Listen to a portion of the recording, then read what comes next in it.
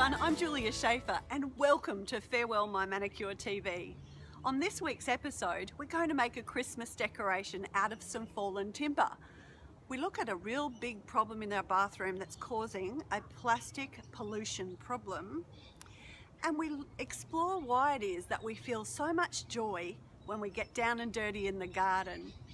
Let's get started, shall we?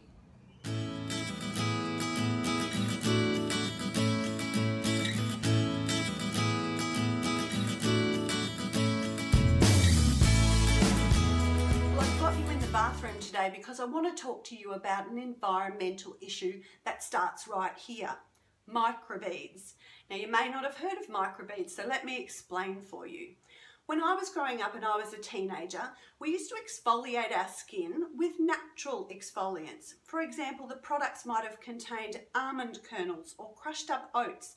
That would be the abrasive that was in the uh, cosmetic that would help clean your skin and make you feel all glowy and shiny. And we would use those once a week because it was very, very effective. Then some Bright Spark developed the plastic microbead. Now these little grains of sand type pieces of plastic are an environmental nightmare. Also, you use more of them because they're softer on the skin. You can wash your face with them every single day, which means that you run off to the supermarket and buy more product, etc., etc. And you can see where I'm going with that. But the problem is that they get flushed down the drain. That's part of the issues. They flush down the drain, they bypass a lot of the filtration systems and end up in our waterways. What's wrong with that? I hear you say. They're little tiny pieces of plastic. Well, those little tiny pieces of plastic are a toxic time bomb. They chemically absorb the toxins in their environment. So they're floating around the waterways, down the drains, etc chemically attracting all toxins around them into themselves and scientists have proven that they can be up to 1 million times more toxic than the water that they're suspended in. So what happens next is the little fishes eat them, ingest them, bigger fishes come along and eat the smaller fishes, bigger fishes again come and eat those big fish and ultimately some fisherman goes out, gets them out of the ocean and puts them on our plate. So here we are with a what we would consider a beautiful meal full of toxic chemicals that have been absorbed by these microbeads. So it's an environmental disaster. It's clogging our waterways, creating lots more plastic pollution, harming the fish and ultimately harming us. So what I need you to do is look in your um, bathroom, in your cleaning chemical cupboard and make sure that you don't have any products that have microbeads in them because you don't want to be contributing to the plastic pollution and inevitably killing off our fish and harming your own family.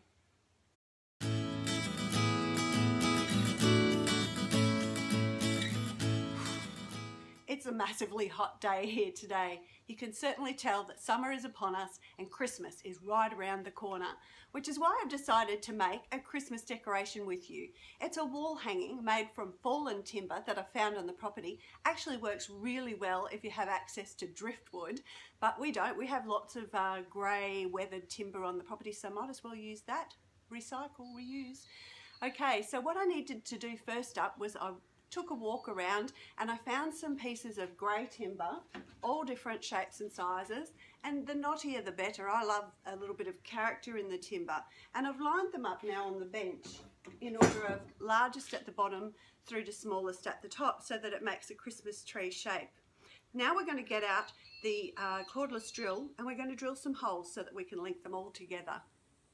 Now you can see the Christmas tree timber lined up behind me and what I've got here to hang it all together is some rope, well thin thin rope, some cord actually stuff that I use for um, putting in hoodies and what I need to do now is measure out a length that's going to join all the sections together, leave a loop at the top and then all the way back down again.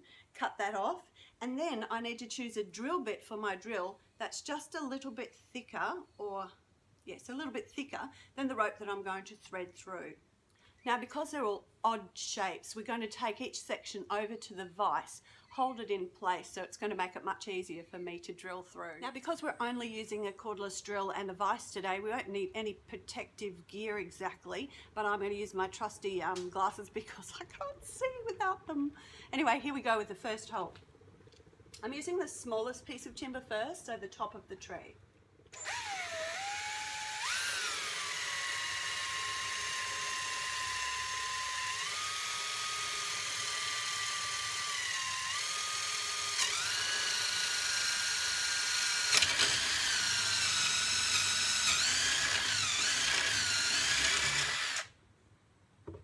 There we go, now the timber turn it round and do the next side.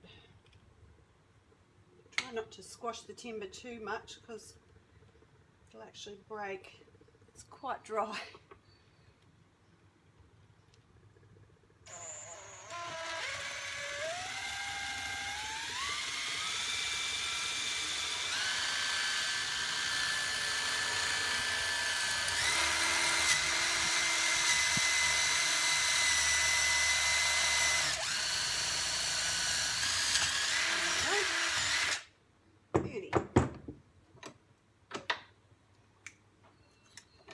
There we go. So that's going to be the top of our tree and I've drilled right through. So now I'm going to thread the cord through and tie a couple of knots at either end. So take your cord or your rope or your twine, whatever it is that you're using. You could even use ribbon or um, some tape. Lots of interesting things. Let your imagination run wild. Find the center point and put a knot in there because that will help you to balance out the pieces of timber as you go. Just put a little knot. Yay. All right, then we take one end of the cord and we're going to thread it through one lot of the holes from the top down. If you have trouble with it um, fraying, you can tie a little, put a little bit of tape on the ends and that will probably help a lot. Okay, pull it through. Now you can see there's the top of the where we're going to hang it from. So we now want to want, make a knot underneath here so that it doesn't slip through.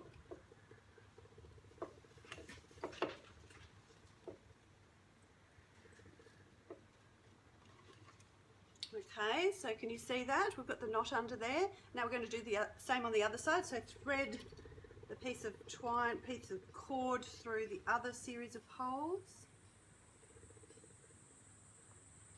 So it was proving a little bit difficult to thread through. So I've put some electrical tape on the end, which will make it much easier. Then I can push it through. Yeah, that's working a lot better.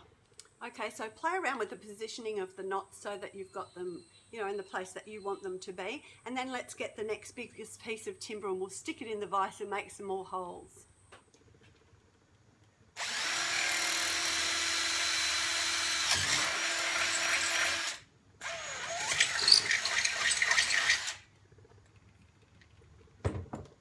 Okay, second one. So I'm wanting it to sit like this so that it's kind of like a little bit of a shelf. And so I've done the holes downwards this time because it's going to act as a kind of cool little shelf arrangement for our uh, Christmas decorations to sit on. So there's the second shelf and we'll keep building and I'll show you when I've got them all strung Just on. a little bit of a tip, I found the easiest way to get the distance right between the different pieces of timber was to hang it physically and just do not one and then measure it, level it, not the other, and then do the next one, then do the next one. So if you're hanging it, then you get a better understanding of how it's going to look anyway when it goes up and onto the wall. So I'm going to take this up to the house now, put it on the wall, and throw some decorations on it and see what you think. So there you have it, we're all done. Isn't it gorgeous? And it was just made out of fallen timber, some white painted pine cones that, that, I had left over from a wreath I used last year, a couple of little Christmas garlands that I found lying around in a box somewhere, and some battery operated fairy lights. So it's all very natural and very beautiful. I hope you like it and I hope you have a go at making one for your family. It's beginning to look a little bit like Christmas at our place right now.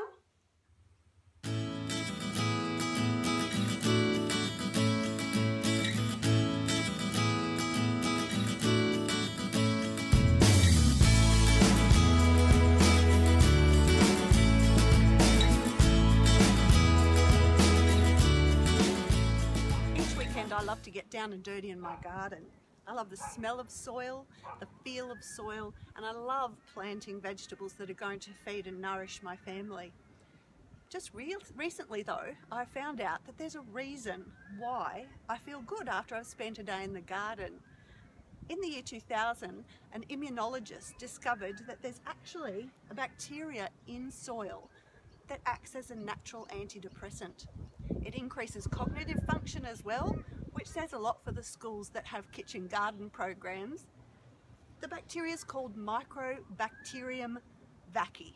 Not a very pretty name, but it's hidden away in our soil and when they did some lab tests on mice it increased their brain function it made them happier and um, basically just improved their mood so it really proves that when I get down and dirty in the garden on the weekend it does lift my mood for a reason it's also light exercise which helps as well sometimes my back doesn't like me too much the next day but it is good exercise so I encourage you to get out and get down and dirty in your garden, inhale some dirt and soak up all that natural antidepressant. Bye for now.